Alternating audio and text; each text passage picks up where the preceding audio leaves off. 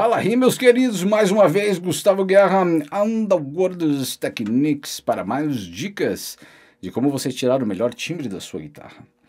Uma das coisas que se torna de fundamental importância, não que ela interfira no seu timbre, mas o conforto do seu instrumento, que é uma boa regulagem. É claro, regulagens mais minuciosas requer o serviço de um luthier experiente, certo? Mas às vezes você tem um pau velho em casa lá que você fala assim: ah, vou mexer, pode mexer. Mas vamos falar de guitarras que você tem como mexer, não importa o preço dela. Se a guitarra custa 300 reais ou você tem uma guitarra de 60 mil reais, né, não importa qual seja o seu instrumento, você pode meter a mão nele que você não vai estragar. Uma das primeiras sacadas, vou lhe mostrar o que é um tirante, certo? Nesta minha guitarra, você pode perceber que tem aqui um, um certo? Se eu tirar esse parafusinho, você vai encontrar uma haste, e esta haste ela corre daqui até aproximadamente esta parte do braço, certo? Ela não, é, ela não vai atuar, ela não vai ter atuação nesta parte. Apesar do tirante vir daqui, eu não sou um construtor, mas é, às vezes eu vejo o tirante daqui. É, mas digamos assim, até um, uma parte do braço. Geralmente o tirante ele atua basicamente da casa 10 até a 3 aqui. Essa é a atuação de um tirante. Você vai ter que fazer um teste, porque guitarras mudam disso, né? Quando você coloca a chave aqui e você está de né, olhando a sua guitarra de cima para baixo. Se você coloca a chavinha e você puxa ela para a sua direção, você tem que ver o que, que o braço acontece. Não tenha medo, não vai quebrar, não vai fazer nada. É, neste caso, nesta minha guitarra, se eu colocar a chave aqui e puxar para cá, o braço vem para trás. Consecutivamente, o braço mais para trás, as cordas da guitarra colam na escala do instrumento, ficando mais baixas. Tem guitarras que é o contrário, tome cuidado, certo? Que às vezes você puxa para cá e o braço ele vai para frente. O braço indo para frente, ele aumenta as cordas. Então faça um ajuste fino para você ver como que é a sua guitarra. Tem guitarras que o ajuste é aqui, ó, certo? Onde você vai colocar a chavinha, vai puxar para trás Daí vejo que o seu braço acontece, se ele vai puxar para cá ou né, para frente. Daí você tem que fazer um teste ali. Mas não se preocupe, um ajuste fino não vai atrapalhar. Vamos falar nessa guitarra, essa guitarra eu puxando para cá, o braço vem para trás. Consecutivamente eu tenho uma ação de cordas mais baixas, né?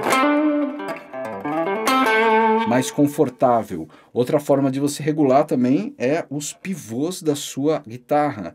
Então você pode deixá-los paralelos, certo?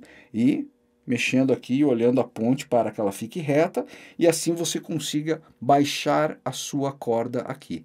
É claro, isso daí é um ajuste fino. Eu posso baixar muito a minha alavanca e quando eu chegar nas notas não sai som, Pode acontecer, então você vai ter que levantar um pouco. Se você puxar o seu braço muito para trás, você vai tocar, vai começar a trastejar, fazer um som mais ou menos assim, ó. Daí você mexeu demais, daí você tem que soltar até um limite que a nota fique.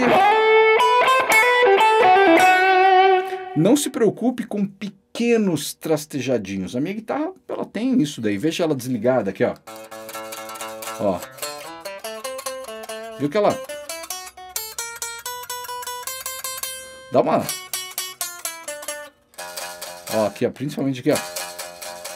Ah, minha guitarra tá trastejando. Meu, som de... ela tá saindo som. Então, ó.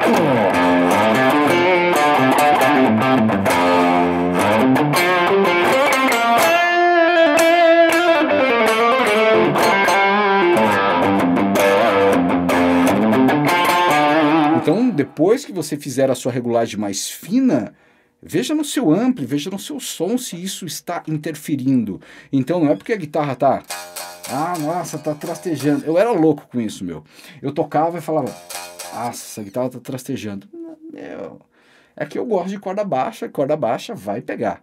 Mas ela não me estraga o meu som. Ó, ligado, ó.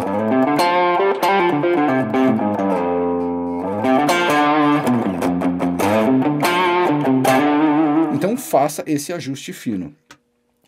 Basicamente é muito fácil quando as guitarras são Fender, são guitarras Gibson, é muito mais fácil de você fazer esse ajuste, certo?